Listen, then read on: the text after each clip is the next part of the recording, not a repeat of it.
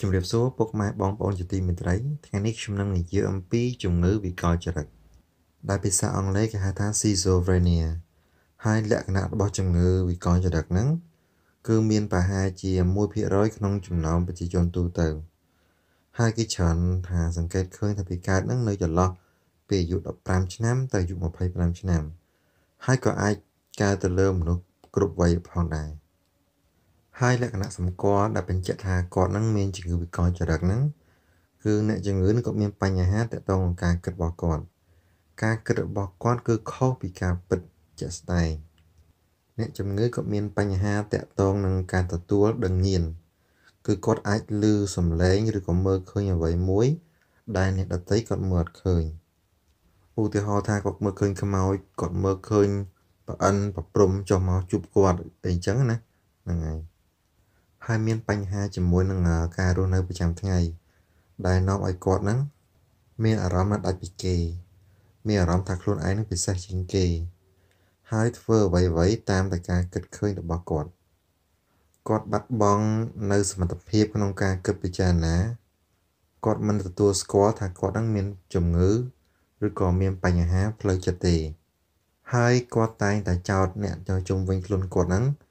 ថាជាអ្នកឈឺ មិនមែនគាត់អ្នកឈឺទេគាត់មានអារម្មណ៍ឆាប់ខឹងនិងរំភើបជួនកាលឆាប់សប្បាយរីករាយជ្រុលឬក៏ការបញ្ចេញអារម្មណ៍របស់គាត់ហ្នឹងវាមិនស្របទៅនឹងស្ថានភាពជុំវិញខ្លួនគាត់ទេដូចដែលអ្នកឯងហ្នឹងសោយតែឯងចឹងទៅណាហើយគាត់ដកខ្លួនចេញពីសង្គមនឹងហើយនឹងមិនមានអារម្មណ៍មិនសូវចុះសម្រងជាមួយអ្នកដទៃទេគាត់នឹងមិនសូវមានចំណាប់អារម្មណ៍ ឬក៏មិនអាចធ្វើអ្វីអ្វីឲ្យបានសម្រេចតាមបំណងទេជួនកាលអ្នកជំងឺក៏មានបញ្ញាស្មារតីក៏គ្រប់គ្រាន់ប៉ុន្តែអាការចងចាំនិងការផ្ដោតអារម្មណ៍របស់គាត់ហ្នឹងវាអាចមានការថយចុះនៅពេលដែលជំងឺនឹងវាវិវត្តខ្លាំងទៅពីមួយថ្ងៃទៅមួយថ្ងៃហើយចំពោះមូលហេតុនៃជំងឺនឹងគឺមានបណ្ដាលមកពីទី1គឺបញ្ហាដំណរពូជ មានផុសតាំងមួយចំនួនបញ្ជាក់ថាអាចជំងឺវិកលចរិតហ្នឹងវាកើតមានក្នុងគ្រួសារដែលមានឪពុកម្ដាយមានជំងឺវិកលចរិតដែរអញ្ចឹងវាតពូជគ្នាហ្នឹងទី2គឺបញ្ហាសង្គមដូចជាគាត់ stress ពេកគាត់រងនៅអំពើទរណកម្មឬក៏មានបញ្ហាពិបាកផ្សេងផ្សេងក្នុងដំណើរជីវិតរបស់គាត់ដែលធ្វើឲ្យជំងឺនេះកើតឡើងដែរទី3គឺបញ្ហាជីវសាស្ត្រគឺមានការប្រែប្រួលសារធាតុគីមីនៅក្នុងខ្លួនគាត់ ដែលមានឈ្មោះថា dopamine D2 receptor នៅក្នុងខួរក្បាលរបស់គាត់ដែលធ្វើឲ្យជំងឺនេះវាប្រែប្រួលនៃការគិតនិងការដឹងញៀនរបស់អ្នកជំងឺហើយចំពោះរោគវិនិច្ឆ័យជំងឺនេះវិញ គឺយោងតាមសភៅរបស់អង្គការសុខភាពពិភពលោក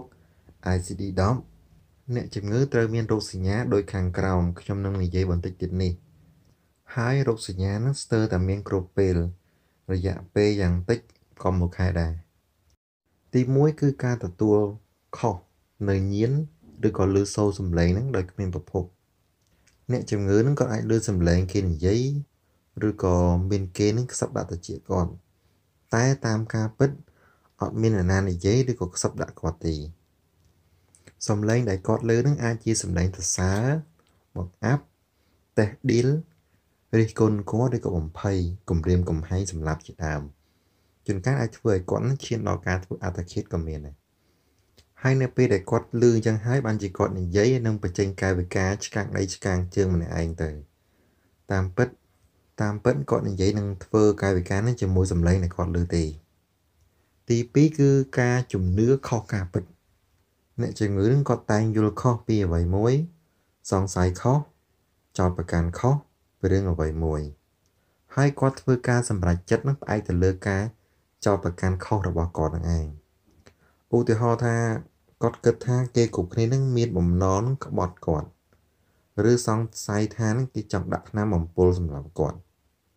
ដូចនេះគាត់អាចរត់ចេញពីគេឬគាត់អាចធ្វើសកម្មភាពអ្វីមួយទៅលើអ្នកដទៃផ្សេងទៀតដែលគាត់សង្ស័យមុនពេលដែលគេនឹងធ្វើមកលើគាត់ អ្នកជំងឺក៏តែងតែគិតថាគាត់មានអំណាចពិសេសអាចគ្រប់គ្រងលើធម្មជាតិលើទឹកភ្លៀងទឹកជំនន់បានឬក៏មានទេវតាណាសន្ធិដ្ឋនៅក្នុងខ្លួនគាត់ក៏មានដែរទី3គឺវិបត្តិតកតងនឹងការគិតអ្នកជំងឺអាចមានសញ្ញាមួយចំនួនដូចជាគាត់ឮសូរសំឡេងដែលជាការគិតរបស់ខ្លួនឧទាហរណ៍ថាគាត់ឮសំឡេងនិយាយអ្វីមួយដែលគាត់ទើបនឹងគិតរួច ឬក៏គិតថាគំនិតមួយនេះត្រូវបានគេបញ្ជូនមកឲ្យគឺមិនមែនជាគំនិតផ្ទាល់ខ្លួនរបស់គាត់ទេឬគិតថាគំនិតគាត់ត្រូវបានគេដកចេញអស់ហើយឬគំនិតរបស់គាត់ត្រូវបានផ្សព្វផ្សាយតាមរលកធាតុអាកាសហើយនៅណាណាក៏គេដឹងដែរគំនិតទាំងនេះហើយដែលធ្វើឲ្យអ្នកជំងឺនឹងនិយាយចេញមកនឹងมันមានលក្ខណៈតាក់ទងគ្នាឬក៏មិនចំប្រធានបទទី4គឺសញ្ញាអវិជ្ជមាន ដែលអ្នកជំងឺគាត់មានរោគសញ្ញាដូចខាងក្រោមគឺគាត់មានលក្ខណៈថ្មឹងថ្មឹងមិនចង់និយាយស្ដី មានអារម្មណ៍ប្រែប្រួលមិនសមស្របទៅនឹងស្ថានភាពមានលក្ខណៈខ្ជិលឬស្ទក់មិនចង់ធ្វើការមិនចង់ធ្វើអនាអនាម័យខ្លួនប្រាណមិនកាត់សក់ឬក៏មិនសម្អាតខ្លួនឡើយអ្នកជំងឺក៏មិនអាចបំពេញមុខងារប្រចាំថ្ងៃក្នុងគ្រួសារឬក្នុងសង្គមបានឡើយហើយគាត់លែងចូលរួមក្នុងពិធីបុណ្យទានឬក៏ជប់លៀងក្នុងសង្គម ទៀតផង ចំពោះគោលការណ៍ដើម្បីណែនាំក្នុងការជួយរបស់គាត់មានត្រូវប្រញាប់នាំអ្នកជំងឺមកទទួលការព្យាបាលឲ្យបានទាន់ពេលវេលា ដើម្បីធានាសុវត្ថិភាពរបស់អ្នកជំងឺនិងអ្នកដទៃផងដែរហើយការព្យាបាលត្រូវចាំបាច់ត្រូវប្រើប្រាស់ថ្នាំហើយក្រោយពីអ្នកជំងឺក៏មានសភាពប្រក្រតីវិញហើយត្រូវអប់រំអ្នកជំងឺ ឬក៏ក្រុមគ្រួសារ មែនឬគឺនឹងក្រុមគ្រួសាររបស់គាត់ឲ្យយល់ពីជំងឺរបស់គាត់យើងត្រូវបង្រៀនគាត់ឲ្យចេះតាមដានសញ្ញា នៃការលប់ឡើងវិញ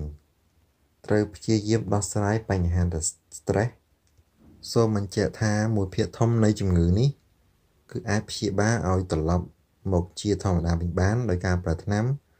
និងការជួយជ្រោមជ្រែងពីក្រុមគ្រួសារហើយជំងឺវិកលចរិតនេះបើសិនជាយើងឆាប់ នៅក្នុងការព្យាបាល គឺអត្រាជាខ្ពស់បើសិនជាពុកម៉ែបងប្អូនជួបនរណាម្នាក់ដែលមានអាការៈដូចនេះសូមកុំភ្លេចនាំគាត់ទៅព្យាបាលជាមួយនឹងគ្រូពេទ្យឯកទេសផ្លូវចិត្តព្រោះជំងឺនេះបើសិនជាយើងឆាប់ព្យាបាលគឺអត្រាជាខ្ពស់មែនទែនបើសិនជាយើងមិនព្យាបាលគាត់ទេអាចមានបញ្ហាគ្រោះថ្នាក់ដល់គាត់ និងអ្នកដែលជុំវិញខ្លួន សូមអរគុណ ក្រោយពីទស្សនាវីដេអូរួចហើយសូមពុកម៉ែបងប្អូនកុំភ្លេចចុច Subscribe និងចុចរូបកណ្ដឹងដើម្បីទទួលបានវីដេអូថ្មីៗមុនគេពី Channel YouTube របស់លោកវេជ្ជបណ្ឌិតប៊ុនឡាយសុភាសូមអរគុណ